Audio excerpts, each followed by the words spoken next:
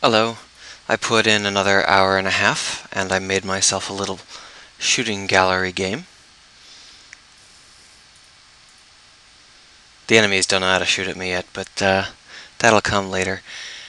The, um, the physics are here, so I have to actually hit them.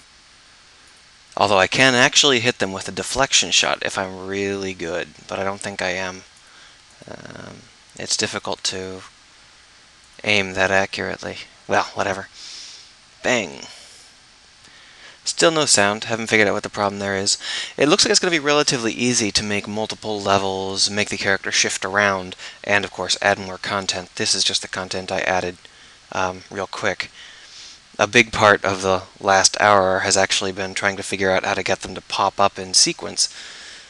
Um, there are a couple of commands I didn't expect to find, like I don't know if there's a timer command, but I can't find it. Instead, uh, you use a yield wait for seconds command, which is an interesting combination. Well, there you go. Shooting gallery game.